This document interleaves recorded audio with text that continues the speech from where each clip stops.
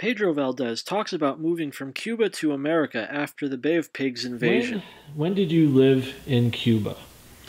I live in Cuba since my birth, January 20th, 1945, until July 16, 1961. I was 16 years old when I left. What made you want to to leave? Freedom. I wanted to be free. How did you find it when you got to the U.S.? I found it very difficult. First of all, because I didn't speak English, I didn't have any friends.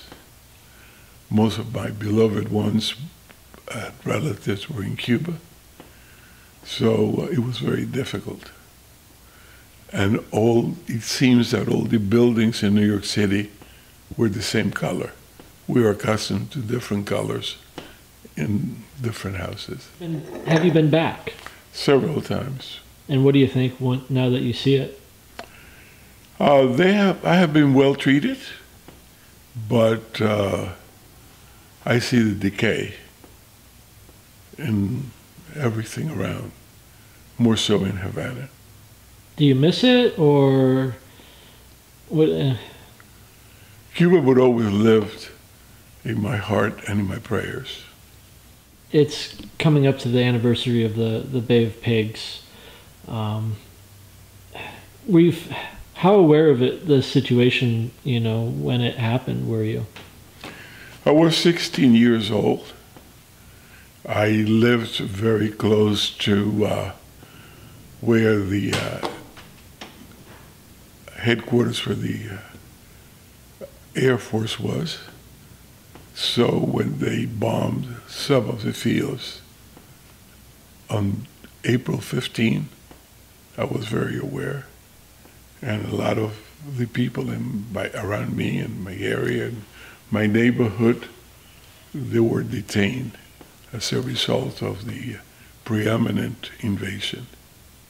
What was it like living through that? Painful. Probably pretty scary too. It was scary. It was painful. Did anything in your mind end up coming out of that, or did it just happen and then life went on?